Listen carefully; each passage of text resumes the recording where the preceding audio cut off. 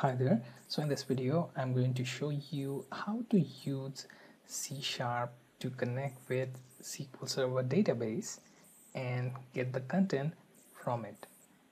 So first thing, open Visual Studio, click on File, then New, then Project. Okay, here we have to choose C Sharp console project so let's choose console application. Then you can choose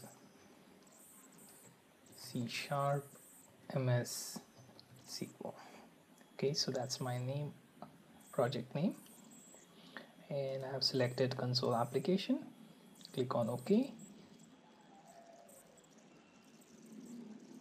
Okay now I have to wait till it finishes creating a project and it's list of files. After that I'm going to directly connect to SQL Server by using class entry known as system data SQL client. So let's type that using system dot data dot SQL client. Okay now inside the program can go to static void main method and here we are going to type our code. So let's start with SQL connection.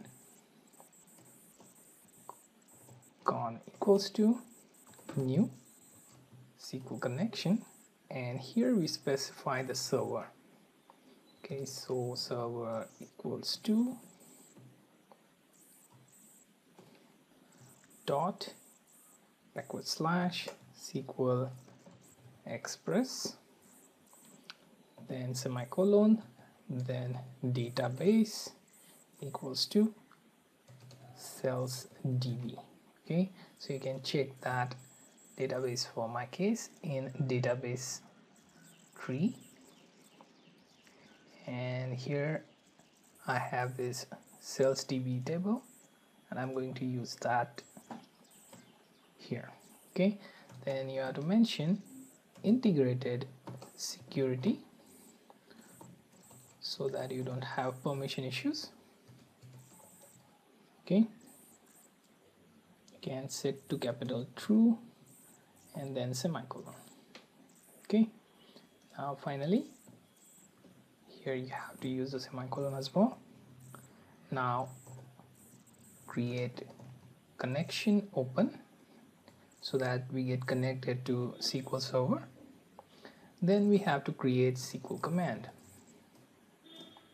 And we have to create one object named cmd then new SQL command. And here I want to get entire database content. So I'm going to use select star then from and I want to specify which table to access to. So go to sales db then for views you will have saved views or you can create a new view. Okay so let's check out if it has default view. So it has plenty of views to check out. So let's go to table right click on it and select top thousand rows. Okay so it will make the query and you'll get list of rows here. So our database name is sales db then you have table name dbo sales log i'm going to copy that and paste it here.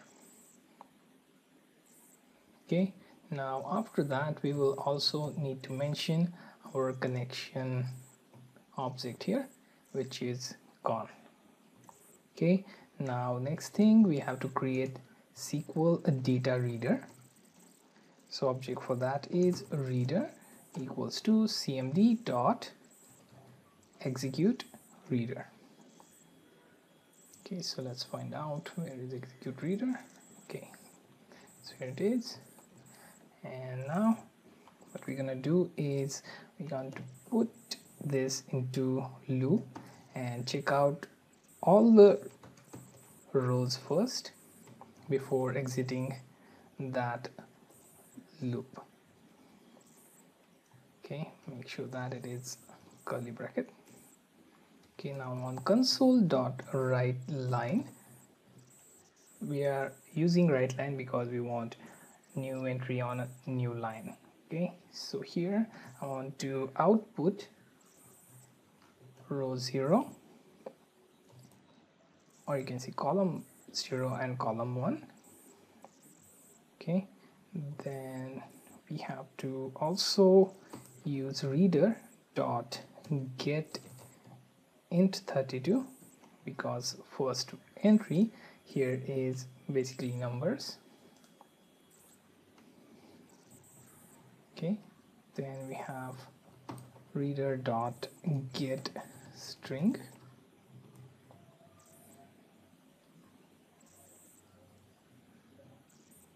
Okay. And make sure that you have your double quotes only for these two. Okay. Now just close this out and check if everything is properly done okay so reader dot get int 32 and get string 1 so our database has first column which has integer and then string. Okay now after this while loop I want to close the reader. Okay so that it stops querying then we also want to close the connection. Okay and finally console dot read line so that it can pause the output in case if you are running debugger. You can also use loop to check whether it uses debugger and then use console dot read line. Okay so let's run this and see if we have any issues or if we get our output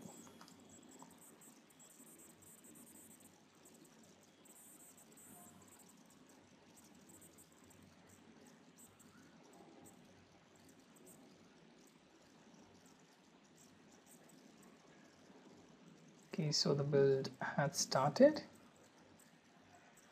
to go through certain process and then it will show us command line pop-up.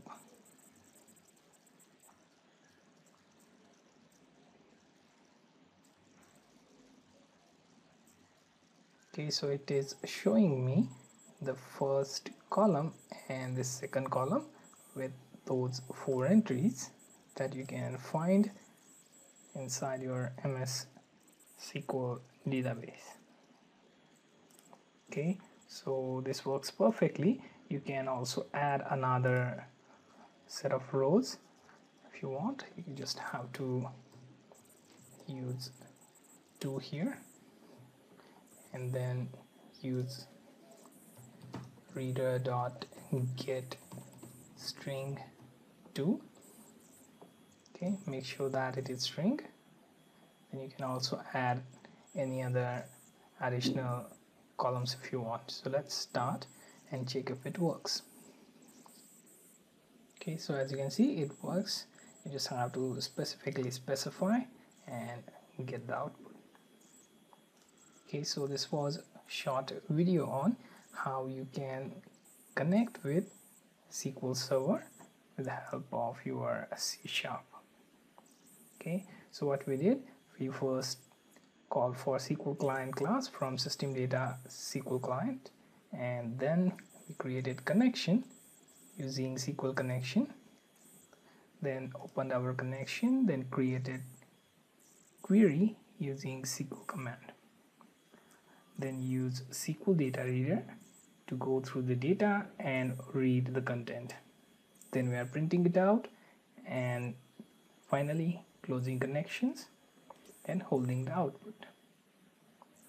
So you can pause the video go through the code and try this on your own